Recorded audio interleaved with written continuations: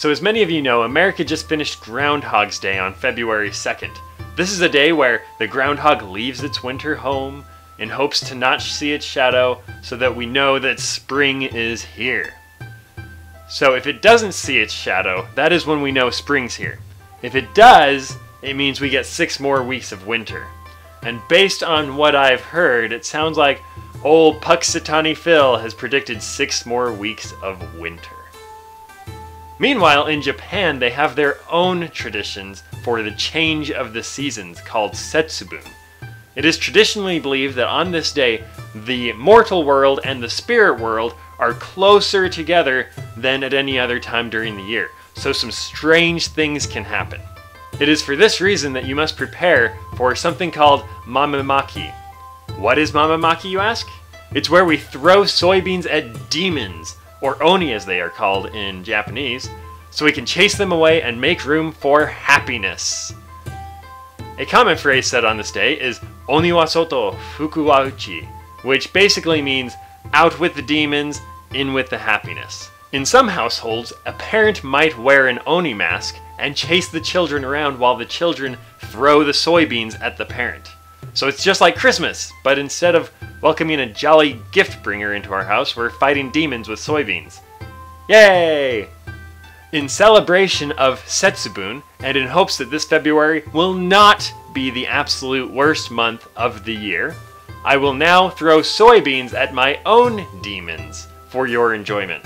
Today I went out and bought some soybeans from the local Valor Mart, or Baro as they call it here, and I will be throwing them at the demons that have been slowly creeping into my house all year long. So, without further ado, let's throw some soybeans and banish some demons. It's on.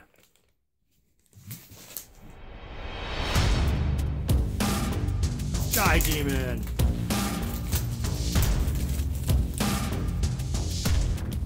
Your stench shall be tolerated no more.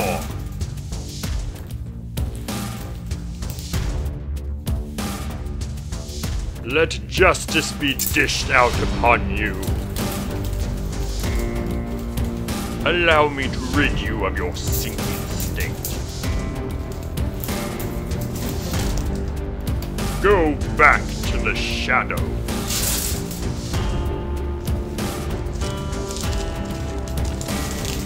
Return from whence you came.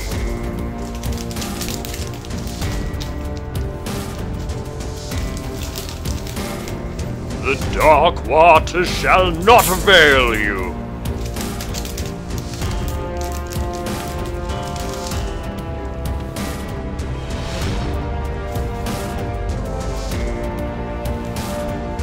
You shall not pass!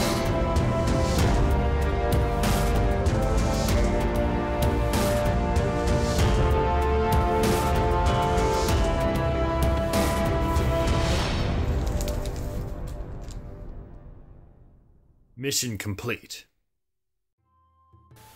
Alright, so the best part about this tradition is that you can have all the fun slaying demons, and your parents will clean up all the mess. Except, uh. I live alone. Hmm. But the good news is I still have plenty of beans left over for a nice snack.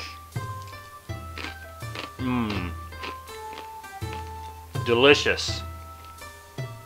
So if you're interested in seeing more Japanese related videos, let me know, subscribe, like, uh, leave a comment below, and I will see you in the next video.